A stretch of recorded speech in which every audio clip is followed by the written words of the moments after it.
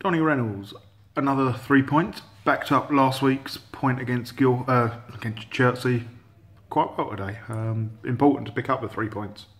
Yeah, um, yeah, good steady rise. Uh, played against a Horley side that expected a little bit more, to be honest. Um, but nevertheless, they're there to be beaten. We beat them, so yeah, happy with the three points. If you look at our first half performance, safe to say it was pretty shocking. Um, the goal we conceded was a poor goal. I think was it Craig and Matt Tanton tackled each other in the middle of the park. Their lads let through on goal. Ollie will probably be disappointed with the with the effort for the save.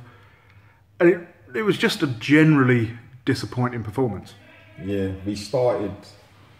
I wouldn't say we started brightly. I think we started poor, to be honest with you. Um, the cracks were covered by Day was very poor, and the only way I think after about twenty minutes, you know, we said you know the only thing they've got in them sort of thing is like feeding off the scraps, which is what they've done. So to be fair to them, their game plan, if it was one, worked for the first twenty minutes, but you know it was a very poor start. Not not pleased with that at all. We needed something to, to get us back into the game.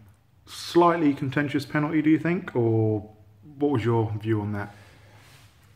I think the first, Ollie, about 10 minutes before that, Ollie had had a, there, I think it was a Stonewall penalty the first time. The second time, I think the referee evened it up. It, it was dubious to be, to say the least. Yeah.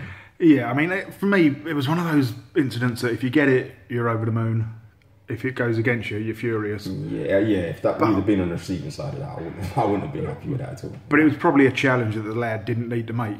Ollie's touch had taken him away from goal. Ollie had beat him a couple of times prior to that and scared the life out of him. So it was rash. And like I said before, when uh, the guy challenged him, it was a Stonewall penny, which the referee let go. So I do feel that he evened up, tried to even up a little bit. Okay. Second half, it was a much more positive performance. Um, Josh obviously finished off a nice little move with Phil to make it 2 1.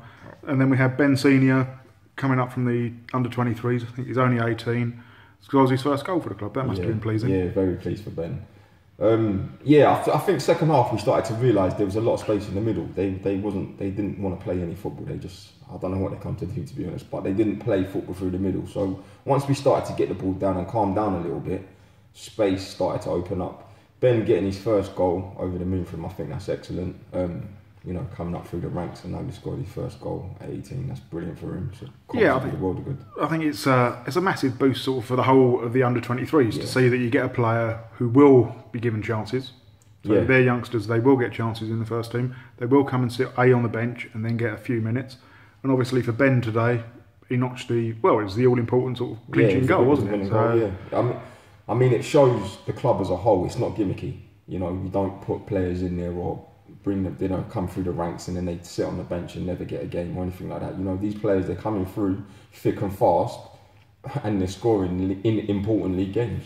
So you know, very in that side of things, very pleased for the club as a whole. Okay. Overall, a win's a win, but we've got to be slightly concerned with the defensive side of the game today. Both centre halves, I think, probably turned in their worst performances that we've seen for the club. Yeah, um, yeah. I think, like I said, I think a lot of players they, was too comfortable out there. I think liberty started to be taken near the end. So Dino and Craig didn't have the um, the greatest of games, but the, you know the plus points are we're not at our greatest. Some of the players wasn't at their greatest, and we've got a result, so we can only climb and get better from that. Okay. Next week we move on to the FA Vase. Got Cobham down here. Be another tough game. I think they're going to be a completely different proposition to the side that we played earlier in the season. Yeah. Um, do we envisage many changes to the squad for that one? Um, we'll see come training, but I wouldn't say many changes as much as the last cup game we played. As you know, the Vase is, is a quite important uh, cup for this club, so it will be taken very seriously. Um, I don't know. Again, training. We'll have to have a look at. We'll have to look at that one. Okay. Well, thank you very much for your time, Donny. Thank you.